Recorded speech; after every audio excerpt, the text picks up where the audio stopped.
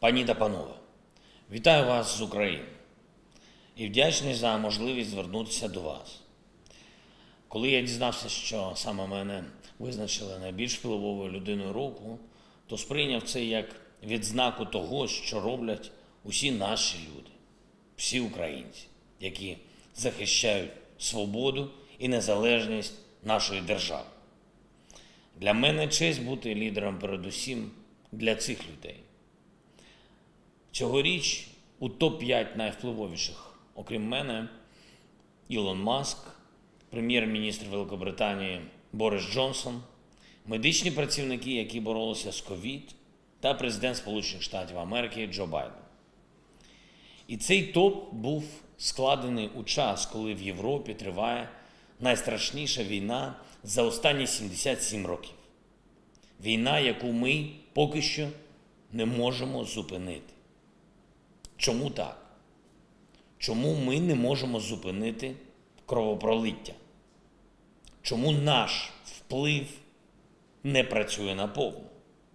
І чому людина, яка взагалі не у нашому списку, тримає у заручниках мільйонів людей? Погодьтеся, ці запитання зараз буквально у повітрі. Але чи є у вас на них відповіді? На другому місці у нашому топі, у топі найвпливовіших Ілон Маск. Людина, яка запускає ракети в космос і вміє дивувати світ. Людина, яка відкриває новий простір можливого і для інтелекту, і для технологій. Але думки світових лідерів зайняті не Ілоном, не його ракетами, які забезпечують прогрес у житті. Думки світових лідерів присвячені тому, хто запускає ракети по мирним людям і знищує життя. За 105 днів повномасштабної війни Росія використала проти українських міст вже більше 2600 різних ракет. Більшість з них проти цивільних об'єктів, підприємств, залізниці, мостів, університетів, навіть проти звичайних житлових будинків. Одна з таких ракет убила в нашому місті Одеса одразу трьох людей. Тримісячну дівчинку, її звали Кіра, її маму і бабусю. Три покоління однієї родини.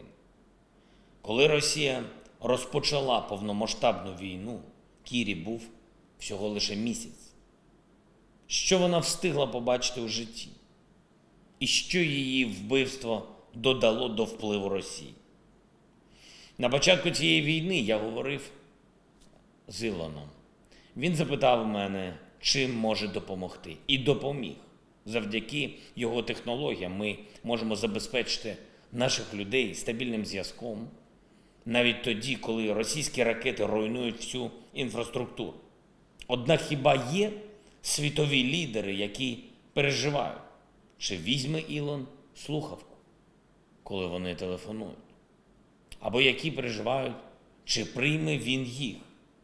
Чи є лідери, які думають про те, якої довжини буде стіл, коли Ілон Маск сяде з ними поговорити?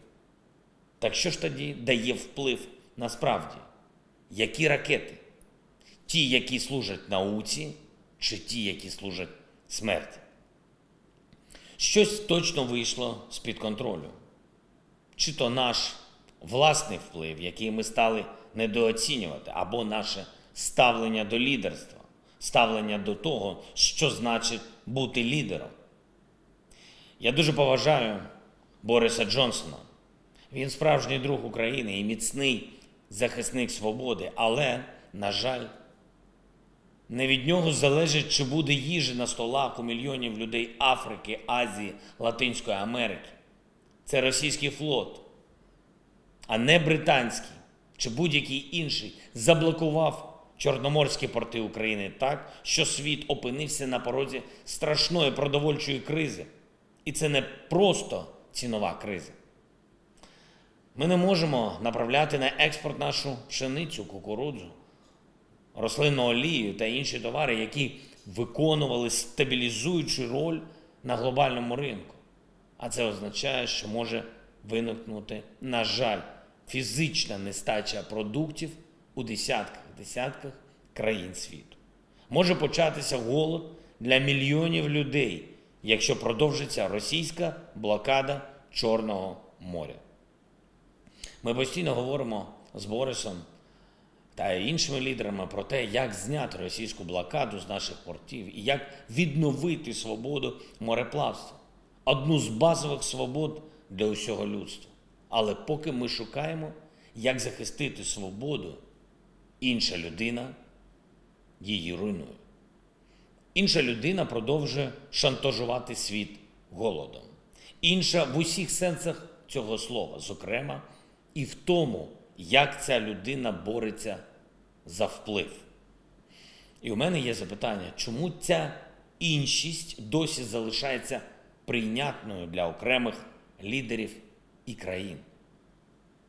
Я залишаю вам це запитання, бо насправді кожна людина має дати на нього відповідь передусім саме для себе, щоб відчути в собі те, що називається цінностями. Чи є вони? Це абсолютно справедливо, що медичні працівники, які боролися проти ковіду, відзначені цього року в голосуванні Time. Вони дійсно герої свого часу, і вони спонукали своєю сумлінною працею увесь світ до об'єднання. Нарешті, до об'єднання. Спочатку в різних країнах однаково думали, що достатньо просто закрити кордони і забезпечити себе, себе в першу чергу вакциною. Але згодом стало ясно, що для COVID-19 немає кордонів і від нього не може бути захисту тільки в національних межах.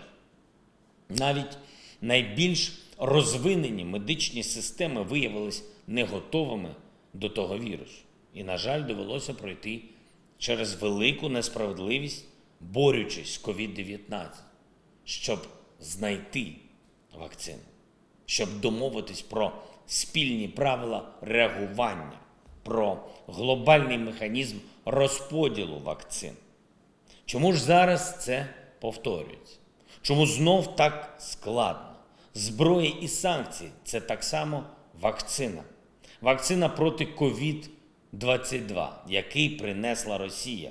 Ненависть це вірус. І він ще більш смертоносний, ніж COVID-19.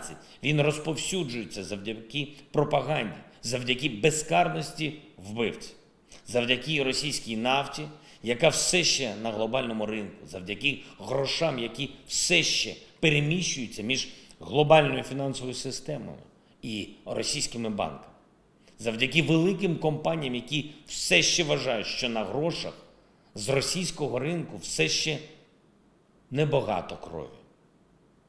Хоча вже десятки, десятки тисяч людей загинули. Мільйони змушені були залишити свій дім через війну. Коли ненависть постукає у ваш дім, чи будете ви готові? Хіба якась маска на обличчі зможе захистити вас від російського COVID-22? І чому вакцину проти нього зброю і санкцій так складно отримати в достатньому обсязі? Чому для деяких країн COVID-22 так само нібито немає, як для конспірологів нібито не було COVID-19? Чому деяких людей не вчать навіть кров і смерть?